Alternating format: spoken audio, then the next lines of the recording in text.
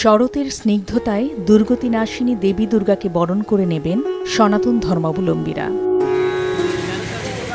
পূজা মণ্ডপগুলোতে তাই চলছে সবশেষ প্রস্তুতি।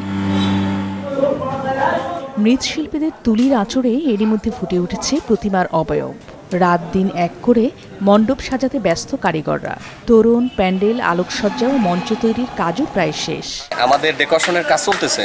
আমরা যথাসাধ্য মানে পুজোর আগেই কাজটা কমপ্লিট করার জন্য খুব চেষ্টা করতেছি। পূজার কাজ প্রায় দেড় দুই মাস থেকে আগেই শুরু করে দিয়েছি প্রায় আমাদের রঙের কাজ সমাপ্তির পথে। দেবী দুর্গার আরাধনার মধ্য দিয়ে সম্প্রীতির মহা আনন্দে মেতে ওঠার প্রতীক্ষায় পূজারী ও ভক্তরা উৎসবকে রাঙিয়ে তুলতে নেওয়া হয়েছে সব ব্যবস্থা। আমাদের হিন্দু ধর্মের সবচেয়ে একটা বৃহত্তম একটা পূজা। যে পূজার মধ্য দিয়ে আমাদের প্রতি একটা বছরের জন্য আমরা অপেক্ষা করি এই দিনটার জন্য। মায়ের এই আগ- আগমনী বার্তায় আমরা মানে প্রত্যাশা করছি আমাদের ত্রিভুবন যেন মানে সুন্দর প্রফুল্লতায় ভরে ওঠে। আমরা প্রত্যেকটি পুজো মণ্ডপের সাধারণ সম্পাদক এবং সভাপতিকে বাংলাদেশ পূজা জীবন পরিষদের পক্ষ থেকে আলোচনা করেছি এবং নিরাপত্তার বেষ্টনী বলয় তৈরি করেছি।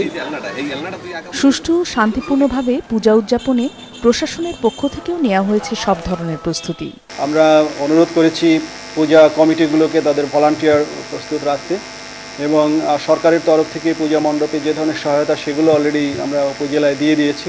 বিভিন্ন বিটে ভাগ করে বিট অফিসারদেরকে দায়িত্ব দিয়েছি। আমাদের টহল পুলিশ রয়েছে আমাদের গোয়েন্দা নজরদারিতে রয়েছে। আজ বোধনের পর কাল ষষ্ঠী পূজার মধ্য দিয়ে সনাতন ধর্মাবলম্বীদের সবচেয়ে বড় এই ধর্মীয় উৎসব শুরু হবে। Nadia Afrin Maasranga news desk.